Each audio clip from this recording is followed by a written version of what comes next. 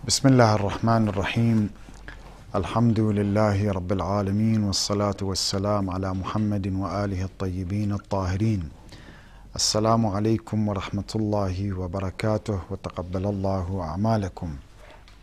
قال الله سبحانه وتعالى في محكم كتابه العظيم بسم الله الرحمن الرحيم.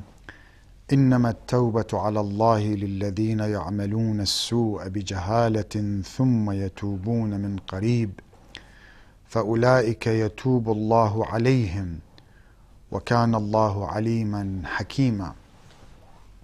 نحن آه، تحدثنا عن التوبة في حلقة سابقة وقلنا أن التوبة مرتبطة بالذنوب كما أن العلاج مرتبط بالأمراض الذي يأتي ويريد أن يعالج لا بد أن يعرف يعرف الأمراض. من غير المعقول أن الإنسان فقط يقول أنا خبير بالعلاج ولكن لا يعرف ما هي الأمراض. كذلك بالنسبة إلى التوبة. التوبة هي العلاج للإنسان علاج لنا. ولكن يجب أيضا أن نعرف الأمراض التي يجب أن نعالج أنفسنا منها. ما هي الذنوب التي ينبغي أن نتوب منها؟ تحدثنا سابقا عن الذنوب اليوم في هذه الحلقة أيضا نتحدث عن أنواع من الذنوب وبعبارة أخرى. عنوان الحلقة ما هي أو ما هو أشد الذنوب؟ الذنوب الشديدة الذنوب المهمة الصعبة. طبعا بحث الذنوب بحث مفصل وواسع وفيه مطالب كثيرة ولكن في هذه الحلقة نتناول بعض ما جاء في الروايات والآيات حول أشد الذنوب. القسم الأول من الذنوب الذي جاء في الروايات يعبر عنه ما استهان به صاحبه الذنب الذي يستهين به صاحبه. كما عن علي عليه السلام أمير المؤمنين يقول أشد الذنوب ما استهان به صاحبه. الذنب الشديد أو من أشد الذنوب هو ما استهان به صاحبه. يعني لا يعير له قيمة لا يعطيه له أهمية. يذنب هكذا لا يهتم بهذا الذنب. طبعا كلنا كلنا قد نبتلى بهذا الأمر. هنا الأمير ماذا يحدد؟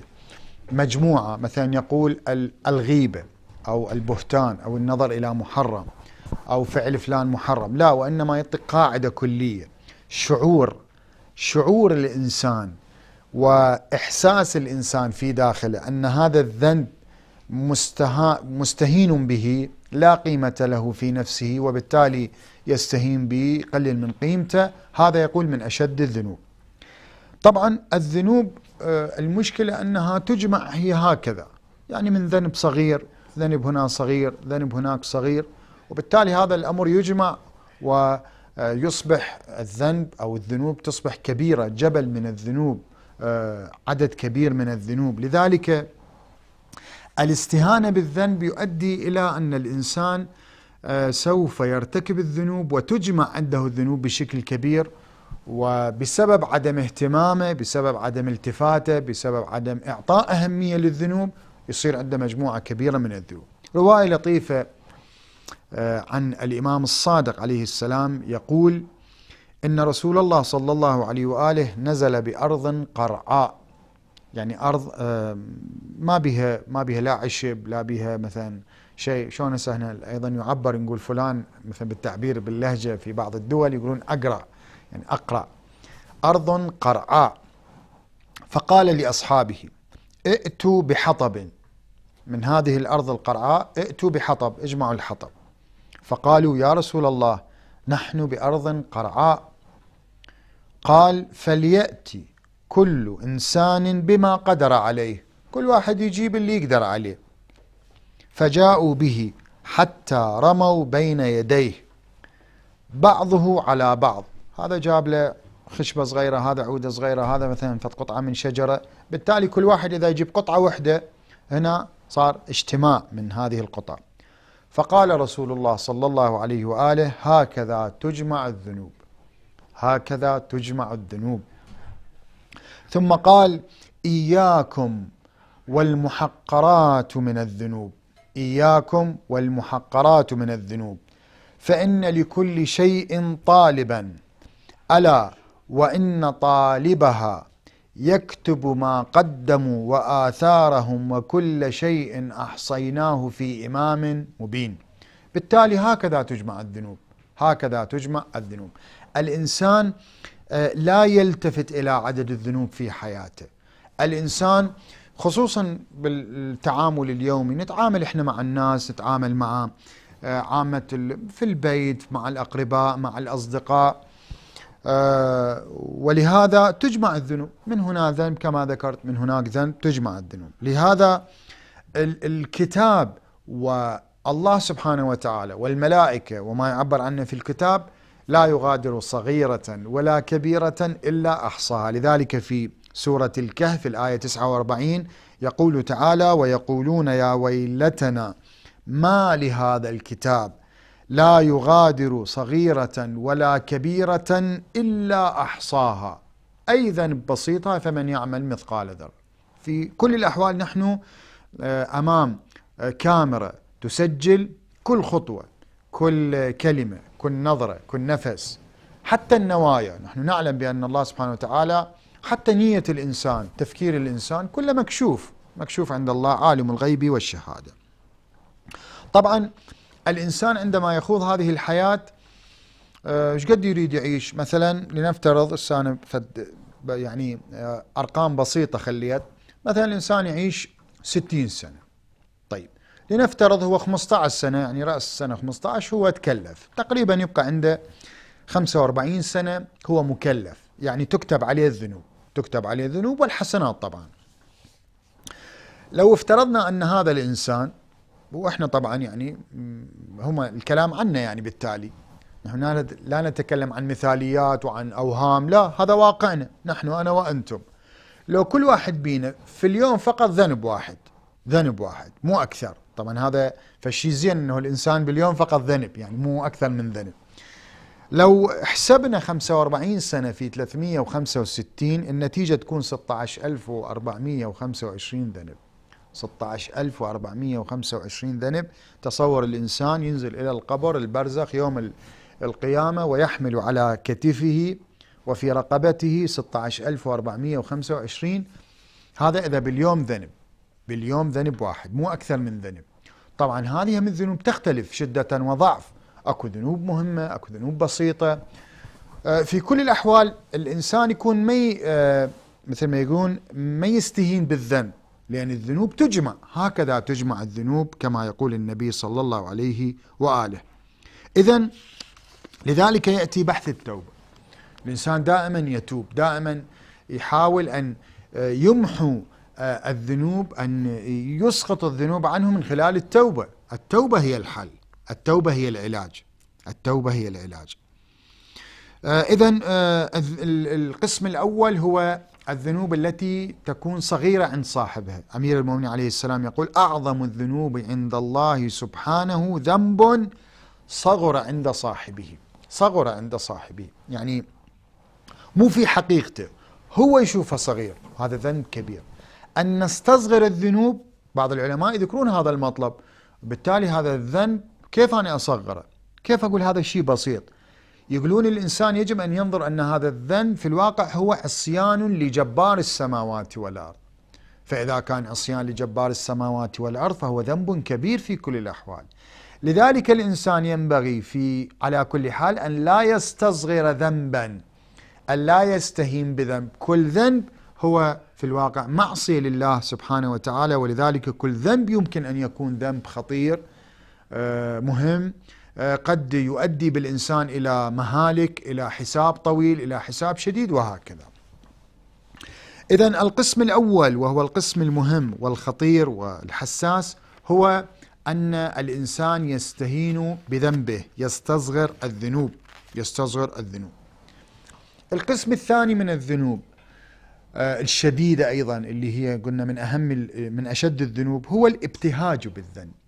أن الإنسان يذنب يذنب لكن بعد الذنب بعد الذنب. قد يستصغر الذنب أو لا يستصغر لكن هنالك حالة أيضا قد يصاب بها الإنسان يبتهج بذنبه يفرح بذنبه. هسه أكو هاي الابتهاج قد يستلزم أيضا الإعلان اللي هذا أيضا قسم آخر المجاهرة. لكن الإنسان يبتهج حتى ولو في نفسه يفرح إنه ارتكب هذا الذنب. طبعا هذا قد يصير في خصوصا في الشهوات مع الشباب في في ذنب ما هنا وهناك.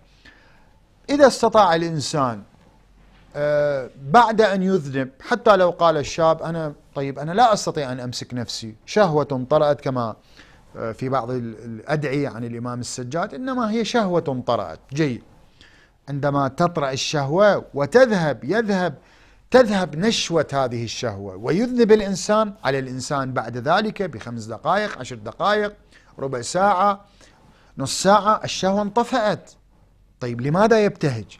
يجب أن يعود الإنسان إلى رشده. أن لا يبقى الابتهاج عنده في هذا الذنب أو ذاك الذنب. طبعا هذا في الشهوات أو غير الشهوات. قد الإنسان يقتل ويبتهج يعني غريزة الابتهاج أو حالة الابتهاج عنده. هذا أيضا من الأمور الشديدة كما ورد في الروايات. الإمام السجاد عليه السلام يقول إياك والابتهاج بالذنب فإن الابتهاج به أعظم من ركوبه. الابتهاج بالذنب أعظم أشد من نفس ارتكاب الذنب. وهي حالة خطيرة جدا. ليش؟ لأن أكرر لأن الإنسان عندما يذنب قد لي لحظة غفلة قد في ساعة شهوة ارتكب الذنب. لكن الابتهاج لماذا؟ بعد ذلك يجب الإنسان عليه أن يفكر أنه قد أذنب وعصى. آه، العظيم عصى الله سبحانه وتعالى. إذا لماذا يبتهج؟ يجب أن يخجل يندم آه، يحزن. هاي كلها هذا شعور يخفف على الأقل. إذا حالة الابتهاج هو من الأمور الشديدة والخطيرة. أيضا أمير المؤمنين يقول التبجح بالمعاصي أقبح من ركوبها يعني هنا حالة من الابتهاج مع قضية الإعلان والتجاهر. إن شاء الله نواصل الحديث بعد أن نستريح قليلا. إن شاء الله فاصل ونعود إليكم.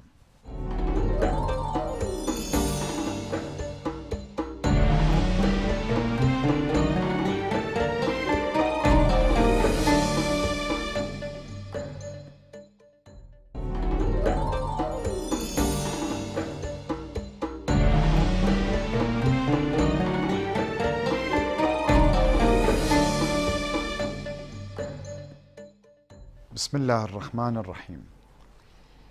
النقطة الثانية كما ذكرنا هي الابتهاج بالذنب. يعني بعد أن يرتكب الإنسان ويقع في الذنب والمعصية يبتهج يفرح. هذا من أشد الذنوب كما ذكرنا. هناك روايات تشير إلى هذا المطلب. الأمر الآخر اللي هو مرتبط بهذا القسم تقريبا هو المجاهرة بالذنوب. الإنسان قد يرتكب ذنب في الخلوة في السر. ما حد يعرف به. لكن يجي هذا الإنسان يتجاهر. طبعا هذا بحالة أيضا من الافتخار والمنافسة خصوصا بين الشباب في الأوساط الشبابية. والله أنا سويت فلان كذا والله أنا سويت فلان فعل. هذا الأمر أيضا شديد جدا. لذلك في الروايات أيضا لسان الروايات شديد كما عن أمير المؤمنين آه، عليه السلام يقول مجاهرة الله سبحانه بالمعاصي تعجل النقم. وهذا أساسا بحث موجود في الروايات. أن النقم تنزل عندما تظهر الذنوب. الذنوب من تكون مخفية وفي السر قد لا نعم هو ذنب وعليه عقاب وفي حساب يوم القيامة. لكن النقم التي تنزل في الدنيا قبل حساب الآخرة بحسب الروايات بعض الروايات تأتي هذه النقم وتنزل النقم عندما يتجاهر الناس يفتخر الناس وهذا أيضا حالة سيئة وسلبية في مجتمعاتنا. لذلك مجاهرة الله سبحانه بالمعاصي تعجل النقم. أمير المؤمنين عليه السلام أيضا يقول إياك والمجاهرة بالفجور. إياك تحذير. فإنها من أشد المآثم. وأيضا قد يمكن أن نستنبط أنها أشد من نفس الذنب. لأن إذا هذا يتجاهر بذنبه ذاك يتجاهر تشيع الفاحشة. وهذا أمر جدا شديد. أن أولئك الذين يريدون أن تشيع الفاحشة أن تنتشر الفاحشة والذنوب والمآثم. النبي صلى الله عليه وآله يقول: كل أمتي معافى إلا المجاهر المجاهرين الذين يعملون العمل بالليل فيستره ربه ثم يصبح فيقول يا فلان إني عملت البارحة كذا وكذا، هذا الذي ذكرناه. والنبي صلى الله عليه وسلم يقول كل الأمة يمكن أن الله يغفر لها، تجي شفاعة توبة رحمة. أما أولئك الذين يتجاهرون ويفتخرون بالذنوب ارتكب ذنب بالليل كما يذكر النبي. طيب الله ستر عليك الله ستر على الإنسان. يأتي الإنسان صباحا ويقول يا فلان. يجي الطالب مثلا الصبح إلى الجامعة إلى المدرسة إلى السوق آه، الشاب أو الشخص أو الامرأة أيا كان. ويفتخر بأني ارتكبت كذا وكذا. يتجاهل هذا يقول لا يغفر الله له وهذا من أشد الذنوب. القسم الآخر من الذنوب الشديدة هو ظلم الناس. طبعا هذا عنوان مهم جدا. الظلم شديد جدا. الظلم في الروايات شديد جدا. أن الإنسان يظلم الآخرين. حق الناس. حق الناس في الروايات شديد جدا خطير جدا. لذلك أمير المؤمنين عليه السلام يقول شر الناس من يظلم الناس. شر الناس من يظلم الناس. ظلم الزوج لزوجته أو ظلم الزوجة لزوجها وإن كان في البلدان العربية بشكل عام عادة الأزواج هم يظلمون الزوجات ظلم الوالدين للأبناء ظلم الأبناء للوالدين. ظلم الكبير للضعيف للصغير ظلم القوي للضعيف. ظلم الحكام لشعوبها. هذا كله يدخل ضمن ظلم الناس. ظلم الناس من أشد الذنوب من شر الذنوب من أبشع الذنوب. والله سبحانه وتعالى لا يغفر لذلك. لذلك آه، يوكل الأمر إلى الناس اللي عنده حق. هو يريد ياخذه. ما يريد ما يريد يتوب على الآخرين. ما يريد يعفو عن الآخرين. من حقه إذا كان مظلوم. طبعا الأفضل العفو كما يقال. ولكن في كل الأحوال الظالم يجب أن يحذر ويعرف أن ظلمه للآخرين هو من شر الذنوب ومن شر الناس وشر الناس من ظلم الناس. النقطة الأخرى أيضا من الذنوب الشديدة هو التبرير تبرير الذنوب. مرة الإنسان يذنب يدري هذا الذنب ولا يبرر. يقول أنا مثلا أخطأت أنا غفلت أنا وقعت عندي شهوة غضب حالة معينة. أما التبرير مشكلة. أن الإنسان يبرر. والقرآن الكريم عدة موارد يذكر في قضية التبرير تبرير الذنوب. مثلا من الأمثلة القرآنية هذه الطائفة من, من الآيات القرآنية أولئك الذين يخذلون الأنبياء ولا يستمعون إلى الأنبياء ولا يتبعون الأنبياء بحجة إنا وجدنا آباءنا. مثلا إنا وجدنا آباءنا على أمة وإنا على آثارهم مقتدون هذه الفكرة أساسا يطرحها القرآن كثير. أولئك الذين يبررون عدم اتباعهم للحق وللأنبياء بسبب الآباء يعني تبرير وهذا أمر غير صحيح. النبي هو الحجة وليس الآباء وليس العشيرة وليس السلف الماضي. إنما الأنبياء وكلمة الحق والصراط هو الحجة. مثلا في آه، في سورة الأحزاب يشير القرآن في معركة أحد إلى في معركة الخندق في معركة الأحزاب إلى هذا الأمر. آه، يقول آه، أولئك الذين تركوا المواقع وتركوا الحرب وتركوا نصرة النبي صلى الله عليه برروا بشيء يقولون ويستأذن فريق منهم النبي ويقولون إن بيوتنا عورة. وما هي بعورة؟ إن يريدون إلا فرارا. القرآن يقول إذا هاي حجة. هذا تبرير غير دقيق غير صحيح. كذب. هم يردون ينهزمون يردون الفرار ولكن برروا بذلك أن بيوتنا خالية أن بيوتنا عورة كما آه، اصطلح القرآن الكريم. مثل آخر في القرآن الكريم هي تبرير قتل الأولاد. تدرون في زمن الجاهلية كان الناس كان المشركون آه، يقتلون يقتلون الأبناء يقتلون الأبناء بحجة الفقر أنه كيف نصرف عليهم؟ ما عندنا أموال وأمثال ذلك. في سورة الإسراء على سبيل المثال في الآية 31 يقول ولا تقتلوا أولادكم خشية إملاق نحن نرزقهم وإياكم. الله يقول إحنا مو بس إلهم إلهم وإلكم. للأبناء نرزقهم للآباء. الأب اللي يقتل ابنه بسبب الرزق أو الأب اللي ما يريد الإنجاب بسبب الرزق يقول أنا أنا أرزق أنا أرزقكم وإياهم. طبعا أكو آيتين في هذا المضمار أنا فقط أستشهد في آية واحدة. إن قتلهم كان خطأ كبيرا. إذا هذا أيضا تبرير تبرير هذا الأمر. الأمر الرابع الشيطان. كمثال الشيطان لم يسجد لآدم. ولماذا لم يسجد لآدم؟ هذا أمر من الله سبحانه وتعالى وكان مباشر ليس عن طريق الملائكة. الله قال لإبليس اسجد لآدم. الشيطان برر عدم السجود. ارتكاب هذه المعصية أنه قال أنا خير منه خلقتني من نار وخلقته من طين. هذا أيضا تبرير وهذا أيضا غير آه، مقبول. ولذلك في كل الأحوال الإنسان يجب دائما أن يعود إلى الله. يجب دائما أن نعود إلى الله سبحانه وتعالى خصوصا في هذه الليالي وفي هذه الأشهر وخصوصا شهر رمضان المبارك. الإمام السجاد عليه السلام في مناجاة التائبين مناجاة الخمسة عشر يقول إلهي أنت الذي فتحت لعبادك بابا إلى عفوك سميته التوبة. فقلت توبوا إلى الله توبة نصوحا فما عذر من أغفل دخول الباب بعد فتحه. الله فتح لنا باب اسمه التوبة علاج اسمه التوبة رجوع إلى الله اسمه التوبة. ليش ما ندخل إلى هذا الباب؟ ما عذر من أغفل ما عذر من لم يرد ولم يقرر ولم يصمم. خصوصا نعم الإنسان ليس بمعصوم. قد يقول القائل أنا لست بمعصوم. نعم كلنا لسنا بمعصومين.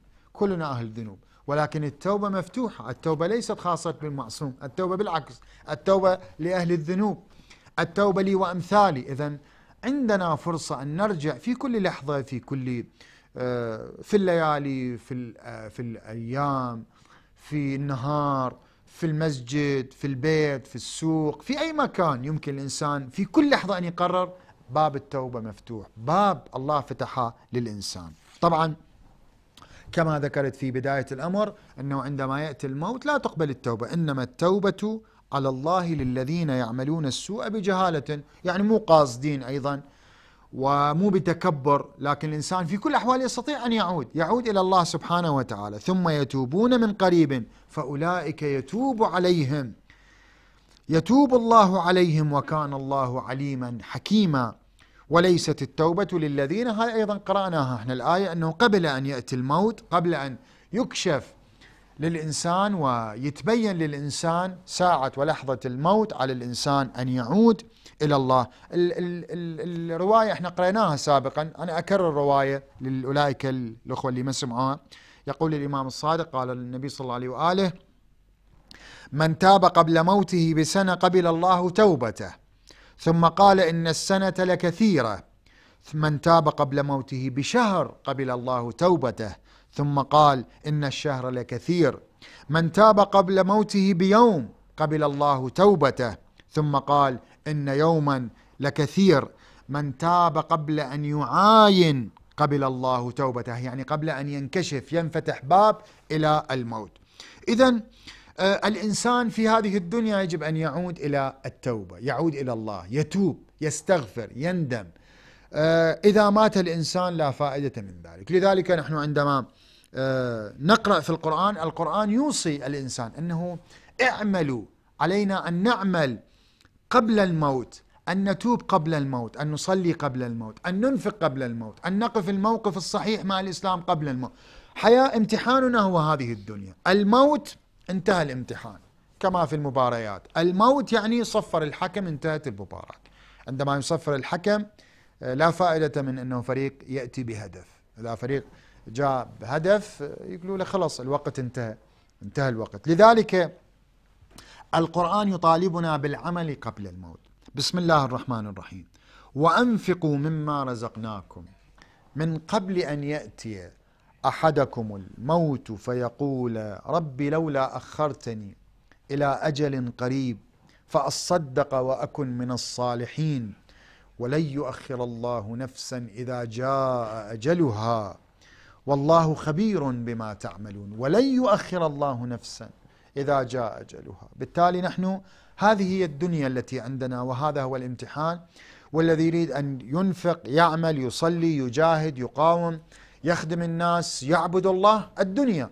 الموت هو اللحظة التي لا نعلمها لا نعلم وقتها وهي التي تنهي الامتحان وينتهي الامتحان. لذلك وأختم بهذه الرواية عن النبي صلى الله عليه وآله يقول إن الله تعالى ليسأل العبد في جاهه كما يسأل في ماله. كما أننا نسأل عن أموالنا أين صرفناها؟ أين قدمناها؟ نسأل عن الجاه. الله أعطانا جاه. كل واحد عنده وجاهة معينة عنده في الشخصية معينة في التأثير معين. هذا شيخ عشيرة هذا مسؤول هذا وزير هذا عضو مجلس هذا رئيس حزب هذا مثلا وجيه غني طبيب مهندس. كل واحد عنده فجاه معين على الأقل في أسرته في بين جيرانه بين أقربائه في مجتمع حسب كل واحد. هذا أيضا نسأل عنه ليس فقط الأموال. ليس فقط العلم. لذلك أن الله تعالى ليسأل العبد في جاهه كما يسأل في ماله فيقول يا عبدي رزقتك جاها فهل أعنت به مظلوما أو أغثت به ملهوفا؟ هذا سؤال سوف نسأل عنه في يوم القيامة. نسأل الله سبحانه وتعالى أن يتوب علينا والحمد لله رب العالمين. والسلام عليكم ورحمة الله وبركاته.